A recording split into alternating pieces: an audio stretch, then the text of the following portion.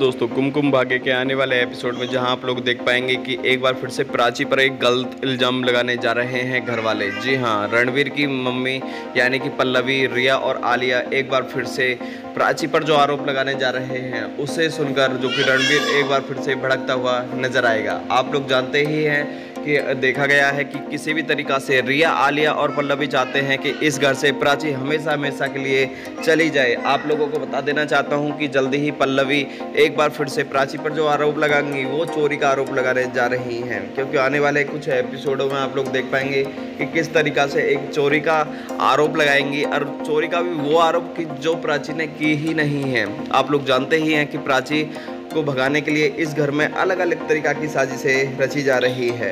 हालाँकि बात की जाए तो प्राची का साथ देते हुए नज़र आएँगे रणवीर और बात की जाए तो प्राची की छोटी बहन, जो कि एक बार फिर से प्राची का साथ देते हुए नज़र आएँगे, क्योंकि ये लोग जानते हैं कि प्राची कभी भी घर में ऐसी कुछ हरकत नहीं कर सकती, जिससे कि सामने वाले को कोई ठेस पहुँचे।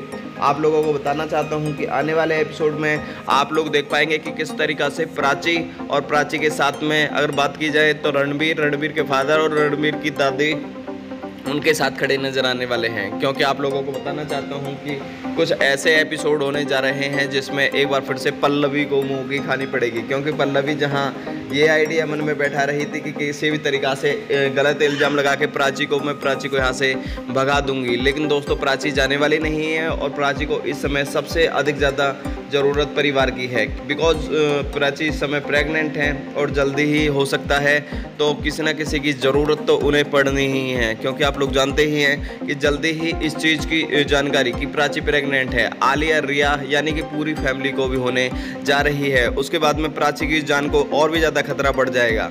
साथ ही दोस्तों, आप लोगों से अनुरोध करना चाहूँगा कि गाइज़ अगर आप मेरे यूट्यूब चैनल पर अभी नए आए हैं तो कृपया करके मेरे यूट्यूब चैनल को सब्सक्राइब करने के बाद में वीडियो को लाइक अवश्य करें एंड कमेंट करके आप लोग मेरे को ज़रूर बताइए। Thank you so much